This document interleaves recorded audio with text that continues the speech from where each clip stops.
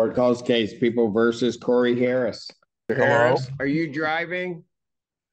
Um, Actually, I'm pulling into my doctor's office, actually. So